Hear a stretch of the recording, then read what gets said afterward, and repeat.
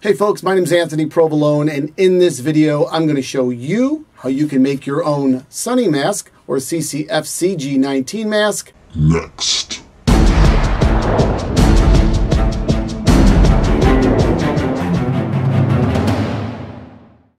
Okay, so the first thing I did was traced out my pattern on some cardstock paper. After that, I put some heavy duty packing tape on the frame area because I didn't want it to tear or rip once I cut it out.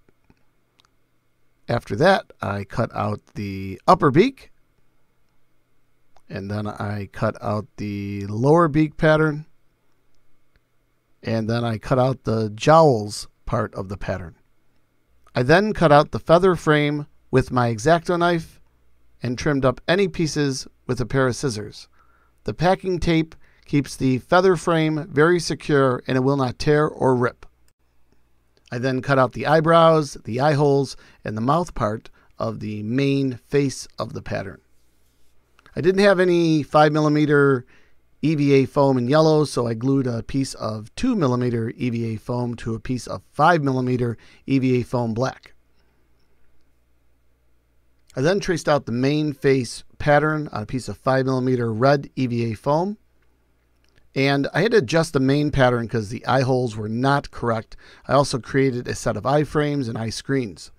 Uh, next, I had to trace out the mouth part, the eye frames in 2 millimeter black EVA foam and use the eyebrows with 5 millimeter EVA black foam.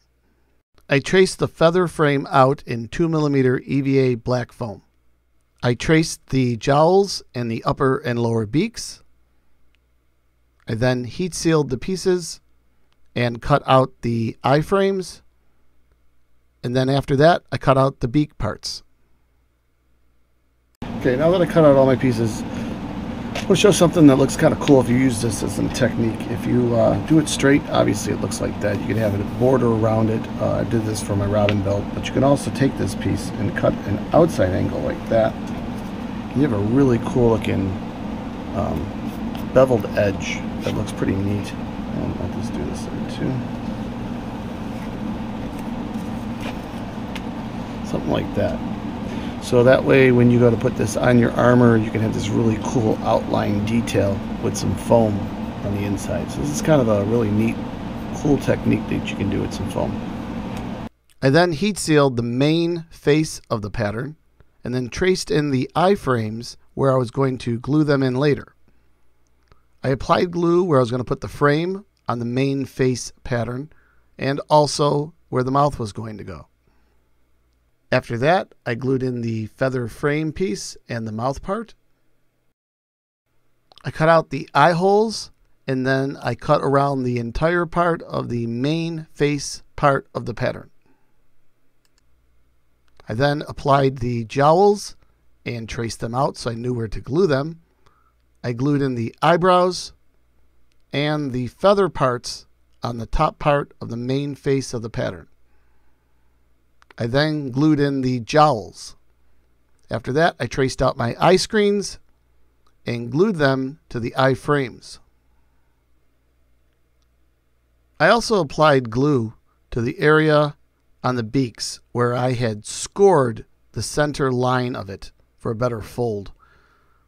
I attached the eye frames and screens to the mask, and then I fitted in the upper beak, tracing where I wanted to put it, and also the lower part of the beak, tracing it where I wanted it to go. And then I glued each piece, the lower beak in first, and then the upper beak to where I traced it out. On the inside of the mask, uh, I created a nose piece, and for lack of better words, I called it a nose hanger. The main purpose of this piece was to keep the mask from sliding down my face when I wore it. I needed two inches at the base of this piece, so I used a piece of masking tape to keep it two inches wide at the bottom of the piece. I then took that piece and put it on the mask in the area where I felt that my nose was going to go on the mask. After I had it where I wanted it, I applied adhesive to the mask and glued in the nose piece right where I wanted it. After that, I attached my spacers So I could put that above the nose piece. Those were going to keep the mask away from my forehead and keep it more straight on my face. I then attached the straps to the back of the mask with some duct tape in the positions where I wanted it to fit around my head. I traced those out. After that, I glued both straps to each side. The only thing left to do at that point to finish the mask was to apply some Velcro to the ends of the strapping, and then the mask would be complete.